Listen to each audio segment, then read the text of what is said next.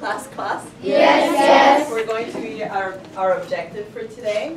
Three, two, one. Objective, today I will use benchmark multiplication facts to figure out other multiplication facts. And of course, we know that we are working with our four multiplication facts. So this is what we will do, and Señorita Vares and I will model for you, okay? You're going to take all your little post-its that you have on your desk and just put them in order here on your desk. You don't need to do that right now, just in a second.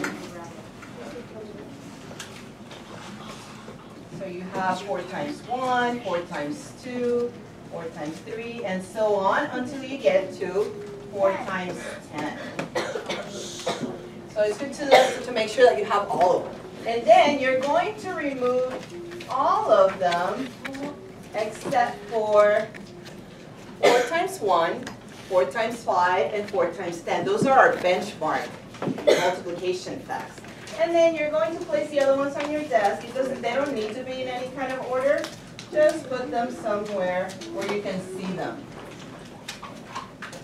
And with your partner, you will take one of them at a time and place them in the right place here, kind of like a number line, okay? But you need to use one of the facts that's already here to figure out what the product of these ones are. Okay, so let me give you an example. Take four times eight.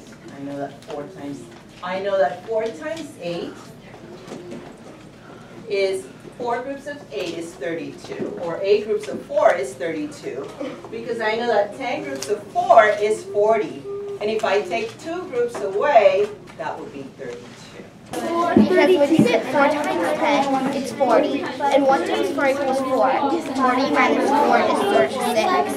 And also 36 plus 4. Uh, 4 also, uh, 2 times, 2 times 0 uh, is four times nine. So I know that four times nine is thirty-six. No. That is 28. Yeah, 24. Because four times six, I only 24. And if you add one, we got 4 equals 28. What's another way to think of it? You were pointing at this one. How does that one help you with 4 times 7? But, okay, so it's 20, um, 4 times 5 is 20, right? And if you add two more, if you add two more groups of 4, that'll be, uh, that's going to be 28. Four times 24 because four times five is equal to 20 plus another group of, of, of 4 is equal to 24.